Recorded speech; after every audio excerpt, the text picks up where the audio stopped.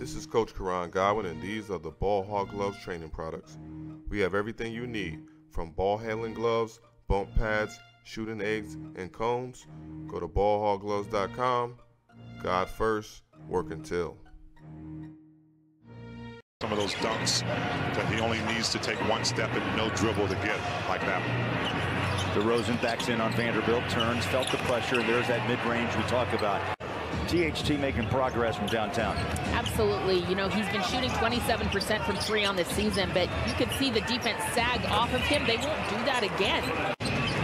Utah enjoying a 7-0 run. The lead is 11. Behind the back.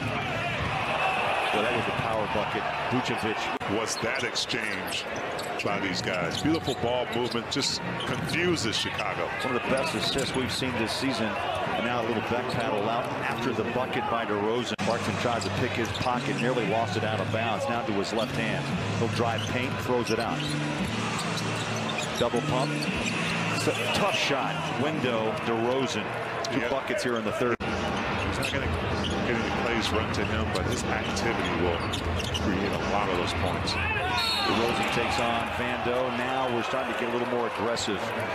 Utah had just five turnovers in the first half, already three here in the third quarter. Vucevic backs in on Olynyk, passes out. DeRozan gives it up. Williams, a wing three, up and down.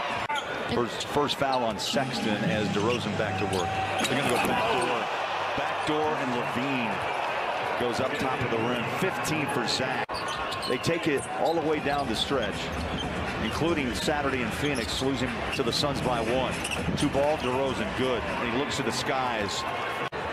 He gave a round of boos on that call. Here's DeRozan, splits two defenders. Caruso in the paint, drives inside, hangs it up and in.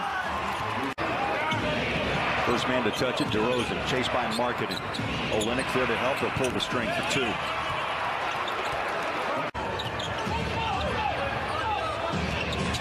DeRozan back to work. They double him. Kicks those feet up in the air again and hits. 17 bench points and 11 by Malik Beasley. Inside after the timeout, DeRozan. They reset the clock to 14 and it runs down to 9. He's not good for this.